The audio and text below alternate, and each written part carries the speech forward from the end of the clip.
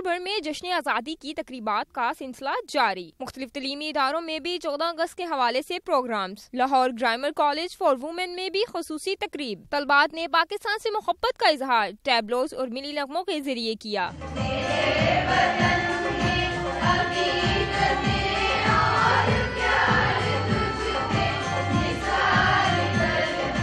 इस मौका पर क्या में पाकिस्तान के हवाले से खसूसी तकारीर भी पेश की गई